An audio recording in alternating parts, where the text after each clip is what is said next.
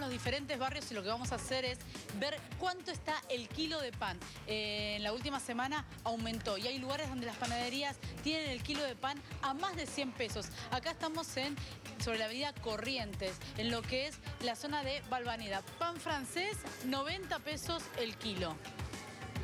Pan especial, 120 el kilo. Bueno, y ya las facturas que son un lujo, 180 la docena. ¿La gente lleva pan todavía? Sí, como todos los días. Como todos los días. ¿Y qué hacen? ¿Llevan un kilo de pan o por ahí te dicen eh, tanta plata? Sí, no, el kilo, o piden el medio o un cuarto, depende de lo que quieren comprar. Perfecto. Bueno, eh, acá en esta zona el pan todavía no pasó los 100 pesos, está a 90 pesos el kilo de pan, pero si uno quiere llevar un pan especial ya estamos hablando de 120 pesos el kilo. ¿Señor va a llevar pan? No, no voy a llevar pan. No llevar pan, no. Cada vez compro menos.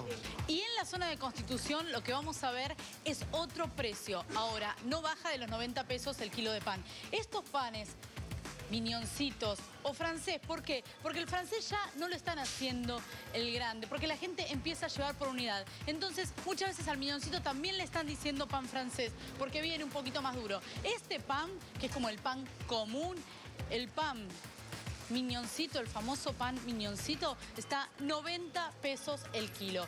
Eh, lo que está haciendo muchas veces la gente es llevando en vez de medio kilo, un kilo, tres cuartos, pidiendo por unidad. Por eso el pan se está haciendo chico para que se pueda cortar. Ahora, si estamos hablando, bueno, acá también tenemos un pan más grande, pero este pan francés también está 90 pesos el kilo. Estos dos panes, eh, acá en Constitución, 90 pesos el kilo. ¿Qué pasa si estamos llevando unas figacitas o un pan negro? Estamos hablando de 98 pesos el kilo. ¿Qué me dice el panadero? No lo quiere poner a 100 justamente por el impacto que causa esas tres cifras. Entonces lo puso a 98. Pero en realidad hoy el precio del pan especial está a 100 pesos. Y si lo conseguimos a 100 pesos estamos hablando de un pan barato. Porque en las panaderías el pan especial, que es la figacita, el pan negro, está entre 120 y 130 pesos el kilo.